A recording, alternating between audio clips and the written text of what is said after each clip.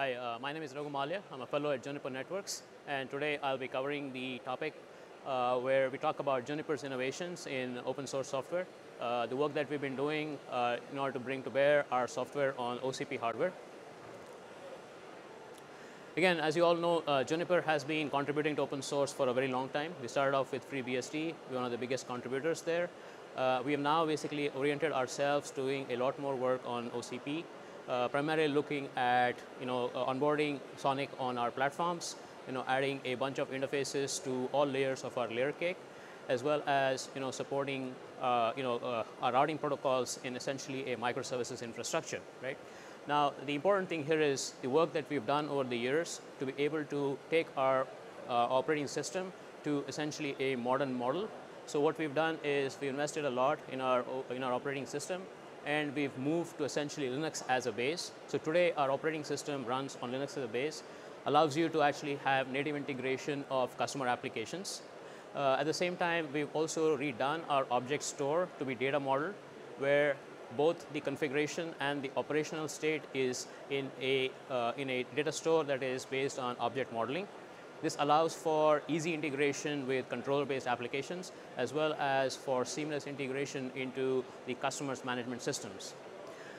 We've also redone a lot of our applications to support granular visibility and telemetry. We are now able to actually stream, uh, uh, stream all the telemetry from the system as well as uh, support batch mode and we have a centralized state database that actually has all the operational state which can then provide a single point of uh, interface for all of the data that you need. We've taken the OS to essentially a, a state where we have all of the platform components uh, essentially uh, abstracted out where we are now able to take our OS and run on white box systems with very minimal changes. Uh, we've also added API abstractions to every layer of the layer cake, be it management, control plane, as well as the data plane. Allows us to support a bunch of APIs, uh, whether it's P4, OpenFlow, SONiC, and others. And in doing this, uh, we've componentized all of the components in our operating system. Uh, componentized software helps with modular upgrades, resiliency, and also with lean packaging. So with this basis, you know, uh, where we've invested quite a bit in our OS, you know, uh, brought it to essentially a modern infrastructure, uh, we've been able to actually support various use cases uh, uh, in being able to run our operating system on various OCP compatible hardware. We'll talk about a bunch of use cases where we've been able to harness this change in order to use uh, our OS in different use cases from an OCP perspective. So here are some of the use cases that uh, we've been working on. Uh, we are also actually showcasing some of this in our booth. Uh, we, you can actually come, come down and take a look at it. Uh, we start off with being able to run Junos on OCP hardware. Uh, this is the simplest use case. Uh, if you look at here from a pictorial point of view, all the green boxes are the applications that Juniper brings to bear. the blue ones are customer applications. Uh, in addition, we are also able to run third-party applications on Juniper uh, software. Uh, these are applications like uh, OpenR. And then we are able to support disaggregated applications where you have, for example, a P4 agent running on box, supporting a P4 controller running external to the system. And we have a, uh, a hardware abstraction layer on the on-box system, which allows you to actually have a P4 runtime run on the OCP hardware. And then finally, what we've done is we've taken our routing protocol stack and disaggregated it. Uh, now our routing protocol stack runs in a microservices architecture, uh, and it can interface directly with Linux. So we are now able to package our routing protocol as an independent container uh, that you can onboard either in a Kubernetes or a Docker Swarm environment. And taking it further, we now are able to run SONiC uh, essentially on both Juniper as well as OCP compliant hardware. Uh, we do provide the platform drivers for, uh, in this particular use case. And then in extension to this, uh, we've been able to take SONiC and run it on essentially a, a multi-PFE environment uh, where we support multiple chips uh, connected through an ASIC, through a fabric. And we do this today on Juniper equipment, Juniper ASIC, and then our plan is to actually extend this to merchant silicon as well. A bit more detail on each of the use cases. Uh, in the case of uh, being able to run Junos on OCP hardware, uh, what we've done primarily here is componentized our software. Uh, we do have the control plane, which is essentially componentized and modular. We have the management plane, and then we do have the data plane or the hardware abstraction layer, which interfaces with the merchant silicon SDK to talk to the ASIC underneath. Uh, for a lot of the platform components, they are all abstracted out into a separate, uh, a separate module. And we do have platform APIs that allow us to interface with different, uh, different hardware uh, models.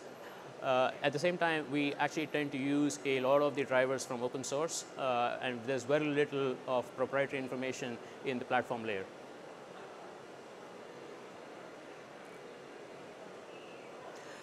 This is a use case where we're running third-party applications on Junos. Uh, a specific use case here that we've highlighted is OpenR. OpenR, as you know, is the network application platform from Facebook, which enables routing extensions to vendor platforms. So what we've been able to do here is primarily onboard OpenR on a Juniper platform and be able to take advantage of the Junos extension toolkit, which is a bunch of APIs into our routing stack. And this allows us, uh, allows the OpenR uh, agent to actually uh, augment and influence the Juniper routing stack. Uh, this is in production, so this is something that we are already shipping.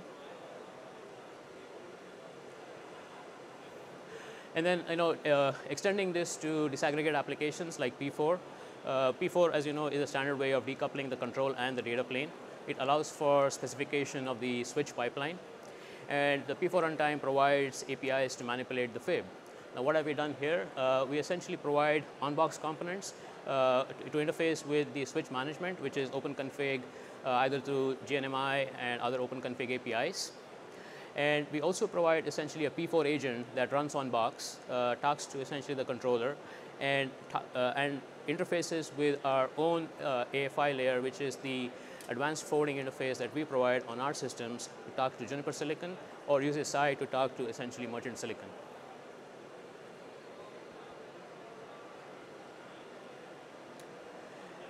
And then this is a case where we've taken a routing protocol stack, abstracted out completely from our operating system.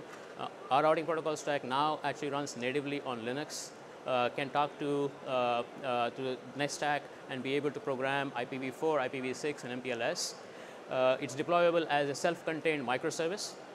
Uh, some of the advantages of using the routing protocol as a container in this form is that we, it comes with its own CLI, uh, it does come with full support for netconf, YANG, and all of the other OpenConfig models. Uh, in addition, you do have the telemetry interface uh, that, that, that routing protocols provide.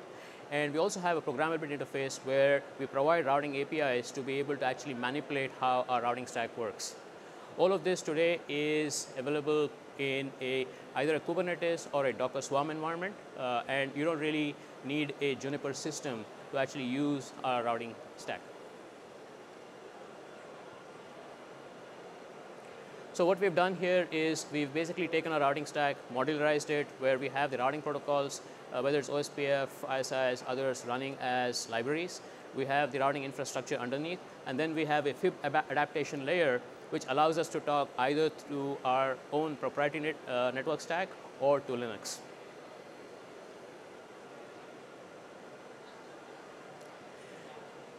And then finally on the SONiC system, uh, we have onboarded SONiC on both our platforms as well as other uh, merchant silicon uh, hardware. Uh, in this specific case where we support a single ASIC, uh, we've uh, actually onboarded Sonic onto both Tomahawk, Tomahawk 2 based systems. And the, the thing that we bring to bear here is the platform drivers, where we've taken the platform drivers that are specific to both our platforms or other you know, ODM hardware, and and we run essentially SONiC on, on, these, uh, on, on these systems. The other thing that we actually bring to the table here is the fact that we can actually replace Quagga with our own routing stack. And, uh, and, and we we, we provide both uh, options where you can use uh, Quagga FRR or uh, our own routing stack in a SONiC environment. And then finally, extending SONiC. Uh, we have been working on extending SONiC to support multiple ASICs uh, multiple ASICs connected through a fabric uh, and being able to support both a fixed form factor as well as a chassis-based subsystem. Uh, the work primarily that we've done here is to actually take the SAI API and then use a gRPC interface to talk to a Juniper HAL container that then uh, abstracts out the, the, the line card or the multi-slot awareness in a chassis.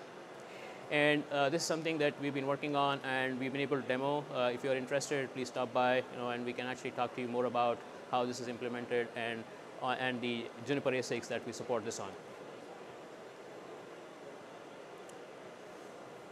Again, uh, this is what we had today. If you have any questions, I think my colleagues are here. They would be able to answer any of your questions. We are at A2. We, we do have a couple of sessions at 3 where we talk about containerized RPD and also about our multi-ASIC uh, SONiC implementation. Thank you.